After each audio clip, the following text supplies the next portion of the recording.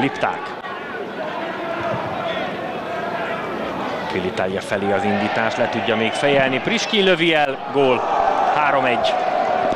Szépít tehát a Győr.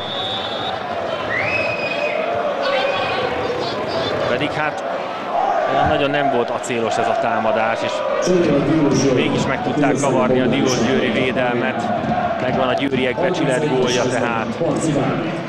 És Barci Dávid közben cserére jelentkezik. Itt lehet látni, gyakorlatilag körbevették a piros közesek Friskint. Hát belekényelmesedtek ebben a meccsben már a Diós Győriek is.